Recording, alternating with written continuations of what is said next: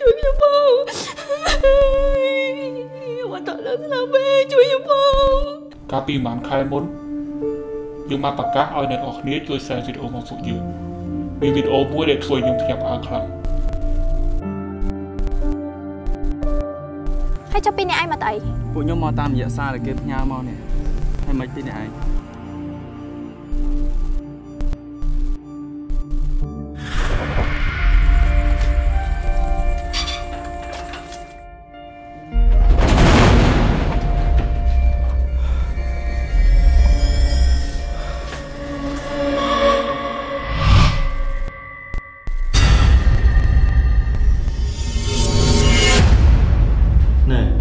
About apply it.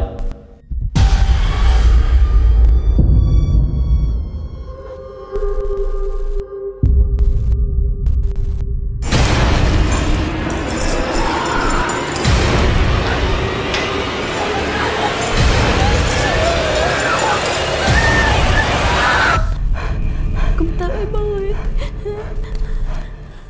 Sao được chiêu